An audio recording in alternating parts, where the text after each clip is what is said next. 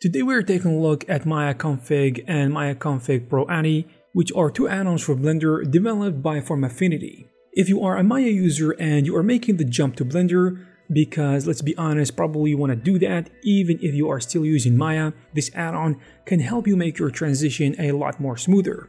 It offers a lot of changes to the layout and the interface of Blender to accommodate for the Maya user experience because some people find it extremely difficult to learn Blender, especially if they are doing that from scratch, and this tool is great if you want to straighten out the learning curve. Maya Config comes with interface and layout changes. It provides a full list of Maya hotkeys in Blender, as well as a theme for the complete Maya look.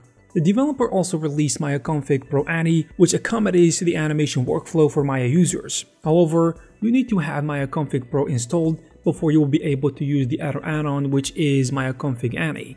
Some of Maya's Config Pro's main features are of course the interface and layout changes, but there are also a ton of shortcuts and tools such as the new tool shelf for easy access to functionalities like adding primitive objects and simple operations such as loading a reference or background image, opening and saving files which have dedicated buttons, and so on. You can also switch between multiple types of shelves depending on what you are working on. For example, if you are modeling, you can pick Polygon or Edit Poly Tools shelf, but if you are working on something else like NURBS, rendering or effects, you can pick one of those and all your operators will change to reflect that. And talking about different types of shelves, once you install Maya Config Pro ANI, you will see a new shelf here labeled Animation. This shelf helps you speed up your animation workflow by providing all the shortcuts you will need to work on your rigs and animations. For instance, you can now easily link any model in just few clicks using the operator link and make a proxy of the top shelf. You have also an option to add armature, pose your characters, and a new option to snap any object to the ground level. Amongst other features like the ability to split 3D viewport, the display timeline, in addition to the graph editor. Furthermore, Dope Sheet and Drivers editor can be pop-up windows with one click, as well as a dedicated animation pie menu. To install the add-on you have to do few things. First, there are a couple of files you need to copy from the add-on folder and you need to put them in the Blender installation folder. The first folder is labeled config, and you need to copy and paste it inside the program files, and then you go to Blender Foundation. And depending on your Blender version, this might be different. For example, if you have Blender 3.1, you should see a folder named 3.1, and you need to put the config file in there. The second thing you need to do is to copy all the Python scripts in the add-on folder to your startup folder under Blender Foundation, and then the version number, scripts, and then startups. Now you can fire up Blender and immediately you will notice that the layout is different.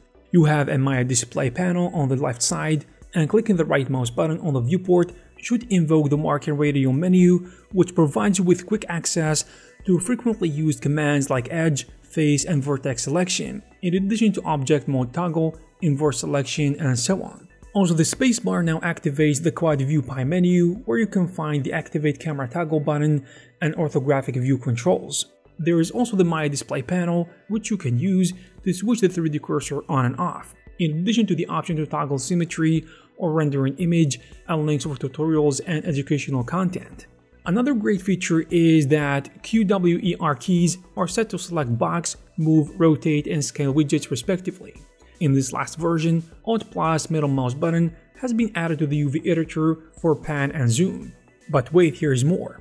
To install the key map, go ahead and open Preferences and under the Key Map tab, click Import and from the add-on folder, choose FA underscore hotkeys and hit Install. This will load all the key maps you will need to simulate the Maya key map like holding Alt to rotate and pan, etc. Similarly, to install the Maya theme, under the Themes tab click Install, navigate to the theme folder, select the theme and hit Install.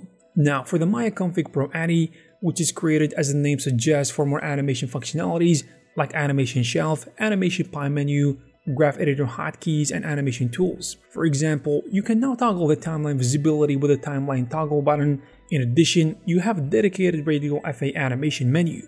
You can also, as mentioned before, append, link, and make proxies easily by using the shortcut buttons in the top shelf or the pie menu. Furthermore, you can use detached windows for the graph editor, NLA editor, Dopesheet editor, graph editor, and drivers editor. So, If you are looking for the best way to transition from Maya to Blender, this add-on is your best option because it incorporates a lot of Maya hotkeys with layout changes that make Maya users feel right at home.